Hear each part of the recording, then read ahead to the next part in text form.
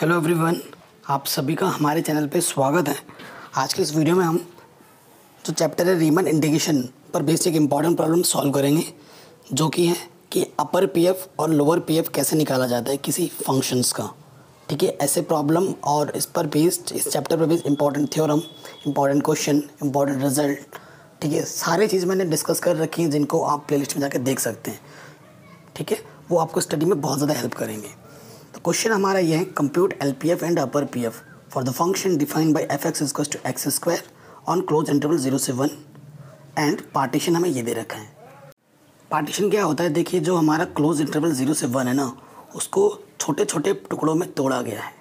ये पार्टीशन होता है। और पार्टीशन आपको पेयर में बनाना होता है। ये एक पार्टीशन है, दूसरा ये है, तीसरा ये है और चौथा है।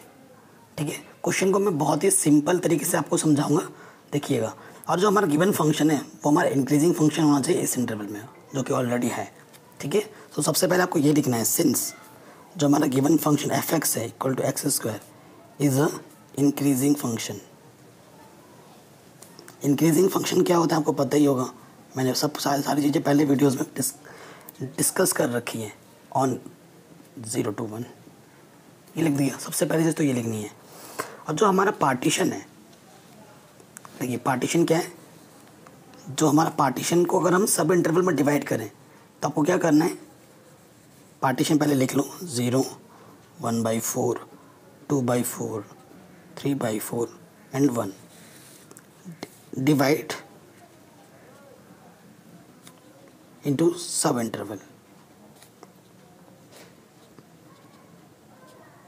sub interval हमारे पास क्या हो जाएँगे? देखिए आई वन वो हो जाएगा ज़ीरो से one by four. Close interval के अंदर ही लिखना है सबको। दूसरा हो जाएगा वन बाई फोर से टू बाई फोर। तीसरा हो जाएगा, ये हमारा आई टू है। तीसरा हो जाएगा हाँ टू बाई फोर से थ्री बाई फोर। ये मेरा आई थ्री है। और चौथा हो जाएगा आई फोर वो हो जाएगा थ्री बाई फोर से वन। ये मेरा आई फोर है। अब मज़ेदार बात यह है, आपको इनके बीच का डिफरेंस भी चाहिए होता है। ठीक है? Here so del one del one क्या होता है? One by four minus zero तो डिफरेंस वन बाई फोर आया। फिर हमें क्या चाहिए होता? Del two. डेल टू क्या चाहिए? आ जाएगा। डेल टू आ जाएगा, देखिए यहाँ से two by four minus one by four, यहाँ से भी वन बाई फोर आया। डेल थ्री आ जाएगा, three by four minus two by four, वो भी आ जाएगा वन बाई फोर। और डेल फोर आ जाएगा, आपका यहाँ से one minus three by four, यानी कि वन बाई फोर। तो सारे तो वन बाई फोर आ गए। ओके? डेल, अगर आपको लिखने में दिक्कत होती है तो इसको आप क्या लिख सकते हैं? डेल एक्स वन भी लिख सकते थे। इसको डेल एक्स टू भी लिख सकते थे।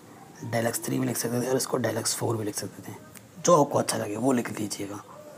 ठीक? तो हमें, अब हम बात आती है कि हमारे पास स्मॉल एम वन क्या है? क्योंकि इसकी ज़रूरत पड़ेगी। स्मॉल एम टू क्या है? स्मॉल एम थ्री क्या है? स्मॉल एम फोर क्या है? फिर बात आती है कैपिटल एम वन क्या है? कैपिटल एम टू क्या है? कैपिटल एम थ्री के हैं और कैपिटल एम फोर के हैं। देखिए स्मॉल स्टार्टिंग क्या होते हैं? तो ये एम वन है एम टू है एम थ्री है एम फोर है स्मॉल तो आप लिख देंगे, पहला क्या? तो ये ज़ीरो है वन बाई फोर है। लेकिन हमारे फ़ंक्शन क्या है? सिंस हमारा फ़ंक्शन है एक्स स्क्वायर तो ज़ीरो का स्क्वायर क्या जाएगा? ज़ीरो फिर वन बाई फोर का स्क्वायर क्या जाएगा? वन अपॉन सिक्सटीन फिर हमें टू बाई फोर का करना है। टू बाई फोर का स्क्वायर क्या हो जाएगा? वो हो जाएगा टू के पावर, यानी कि one by two, one by two का स्क्वायर हो जाएगा। वन बाई टू का स्क्वायर हो जाएगा वन का वन, टू का फोर। फिर एम फोर हमारा कितना है? Three by four. Three by four का स्क्वायर, थ्री का नाइन, फोर का सिक्सटीन ठीक है? ये हमारे स्मॉल एम वन है, small M two. Small M three small M four मिल गए इसी तरह हमें कैपिटल एम फोर तक निकालना है। एम वन कितना हो जाएगा? एम वन अपॉन फोर का स्क्वायर क्या जाएगा? देखिए, वन अपॉन फोर का स्क्वायर क्या जाएगा? One upon sixteen. फिर टू अपॉन फोर, यानी कि one by two, one by two का स्क्वायर वन बाई फोर। फिर थ्री बाई फोर यानी कि नाइन बाई सिक्सटीन और फिर वन का स्क्वायर यानी कि वन ये हमारे पास मिल जाएँगे M one M two M three M four capital के। आई बस समझ में? अब देखिए, सारा काम हो चुका है लगभग। अब आपको निकालना क्या है, सबसे पहले हम क्या निकालते हैं? एल पी एफ़ जो हमें फाइंड करना है। फॉर्मूला होता है आपका देखिए आर की वैल्यू एक से लेकर कहाँ तक जा रही है? फोर तक जा रही है। चार इंटरवल बनने हैं। और स्मॉल एम आर फिर क्या आता है? डेल एक्स आर यानी कि हमारे पास क्या है?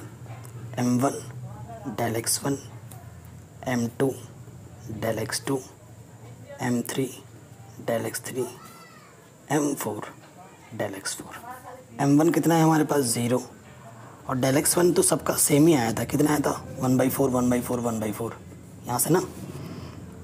One by four M two कितना आया था? वन बाई सिक्सटीन और ये तो वन बाई फोर ही है। प्लस एम थ्री कितना आया था? One by four into one by four plus M four कितना आया था? Nine by sixteen into one by four solve कर लीजिए यहाँ से ज़ीरो यहाँ से आ जाएगा। वन अपॉन सोलह चक्को, चौंसठ. प्लस वन अपॉन सिक्सटीन नौ कम नौ सोलह चक्को, चौंसठ.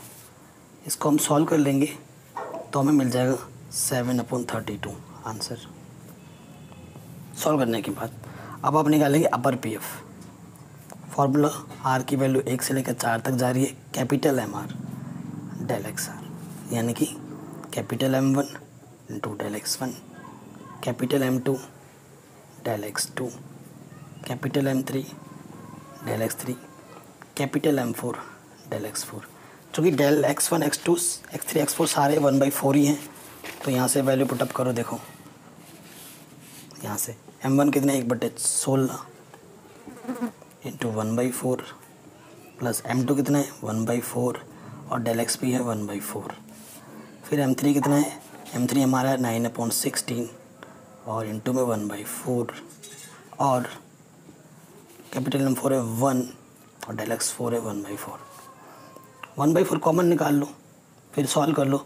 सोल्यूशन करने के बाद इसका आंसर आपको मिलेगा फिफ्टीन अपॉन थर्टी टू तो ऐसे निकाला जाता है एल पी एफ़ और अबर पी एफ़ वीडियो अच्छी लगी हो तो प्लीज़ लाइक शेयर ज़रूर करें कमेंट करके बताएँ ज़रूर।